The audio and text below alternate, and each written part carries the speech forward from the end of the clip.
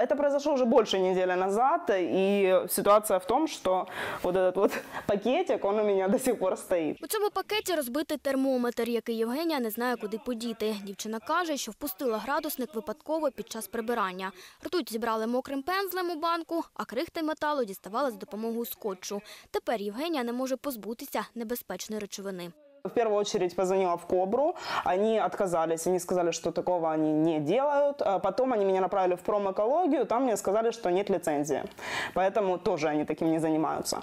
А, И потом я уже начала обзванивать аварийные службы районные, тоже мне ничего не дали в ответ. И даже компании, которые занимаются сортировкой мусора в городе, они тоже не знают и предлагают писать письма в мэрию и ждать, собственно, результата.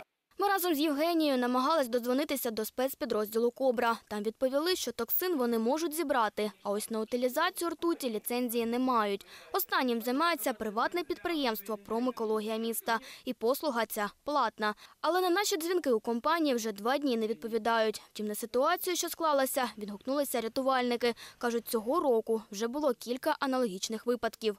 Наші підрозділи приїжджають, здійснюють демаркоризацію, тобто ну і вимушені збирати цю ртуть і залишають на даний час в наших підрозділах. Тому як е, немає куди більше в нас її дівати на сьогоднішній день, на жаль. Они просто взяли с меня все мои данные, номер телефона, адрес, фамилию и почему-то год рождения. Я довольна, что ситуация разрешилась, и я, моя совесть теперь чиста.